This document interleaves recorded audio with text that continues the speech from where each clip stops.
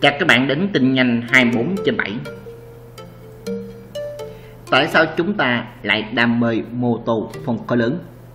Đam mê mô tô phân khối lớn đã bao giờ chúng ta tự hỏi tại sao bản thân lại đam mê mô tô chưa?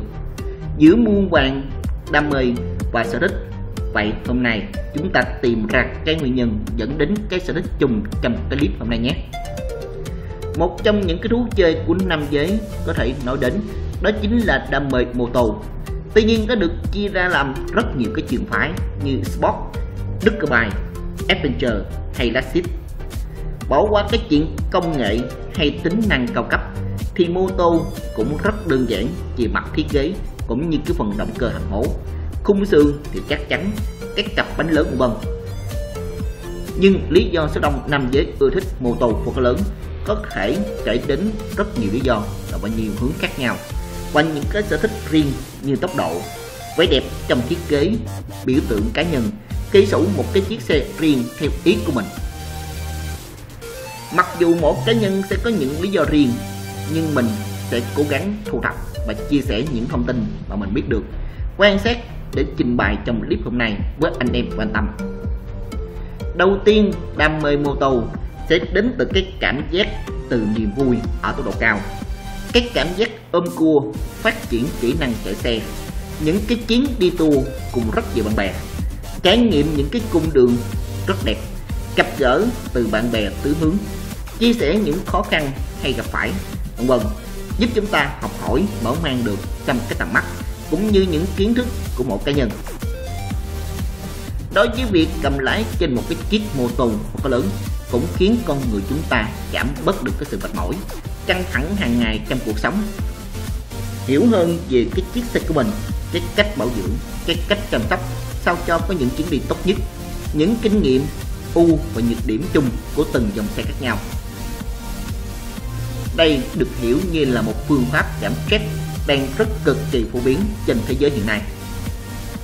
Lý do tiếp đến là niềm đam mê với những chiếc mô tô là vì nét đẹp, sức hút của chính nó. Tuy nhiên mỗi người sẽ có một cái cách nhìn và cảm nhận nét đẹp riêng của từng dòng xe. Từng cái thương hiệu cũng khác nhau.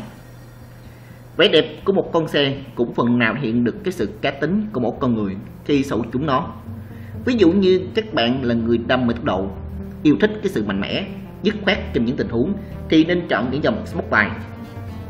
Nếu tính cách trầm tư sẽ theo những cái xu hướng như mẫu xe cổ điển Hoặc sở thích vừa cổ điển vừa hiện đại lại là những cái dòng như là Nail Sport cà phê từ nhà Honda, chắc chắn sẽ làm các bạn rất hài lòng.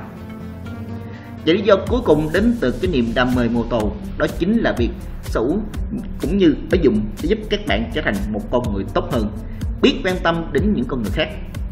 Cụ thể, đó là việc nâng cao kỹ năng chạy xe. Không chỉ thể hiện được qua những cái bằng cấp, mà còn giúp bạn đi vào thực tiễn một cách hoàn hảo hơn. Như việc xử lý những cái tình huống bất phải trên đường quan sát những người xung quanh, nâng cao được cái độ tập trung, kiểm soát, phát huy hết cái giới hạn của bản thân và chiếc xe của bạn. Nếu chúng ta không lường được sức mạnh của chiếc xe và kỹ năng của bản thân sẽ dẫn đến những cái việc xua đuổi, gây tai nạn cho những người đi đường khác và thậm chí là bất mạng mình.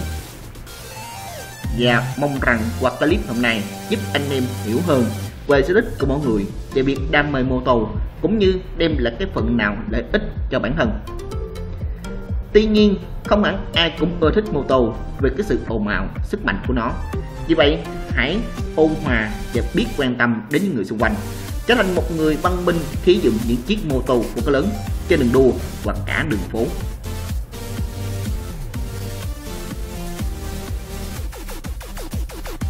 Cảm ơn các bạn theo dõi này. Hãy tiếp nhớ like để subscribe.